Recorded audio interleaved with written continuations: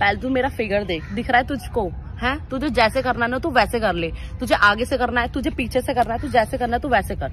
समझ में आई तेरे को? तो मुँह में भी लोगे? हाँ मुँह में भी लूँगी ठुकूँगी भी।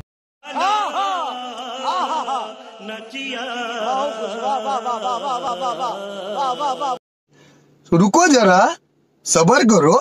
बोला धक्का बुक्की नहीं करने का आराम से लेने का। हाँ।